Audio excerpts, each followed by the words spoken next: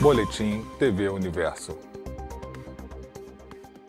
Olá para você que acompanha a nossa programação. Vamos aos principais destaques da primeira edição do Boletim TV Universo.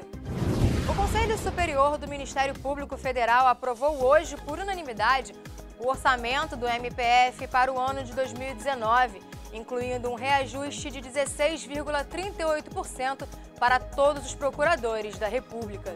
Segundo informou a Agência Brasil, ao justificar a aprovação, os membros do Conselho disseram que a Constituição prevê a paridade entre juízes e membros do MP, que assim têm direito a reajuste com o mesmo percentual dos magistrados. Para absorver esse reajuste, o órgão foi obrigado a remanejar 2,8% de seus gastos gerais para os gastos de pessoal. Com isso, 80,2% de todo o orçamento do MPF passa a ser destinado ao pagamento de salários.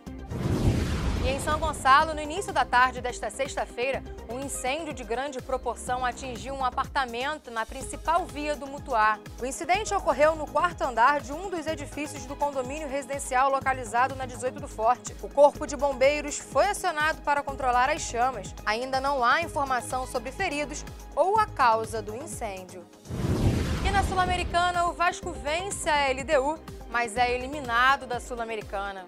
A briga foi intensa muitas chances foram criadas. 36 vezes o gol da LDU foi alvo de uma finalização do time Cruz Maltino, mas apesar do volume de jogo, o Vasco pagou o preço por ter perdido muitas oportunidades. A LDU segue em frente e irá enfrentar o Deportivo Cali nas oitavas de final, porém o Vasco só tem o Campeonato Brasileiro para jogar o resto de 2018. O Boletim TV Universo fica por aqui e você pode conferir também essa edição nas nossas redes sociais, outras notícias ao longo da nossa programação.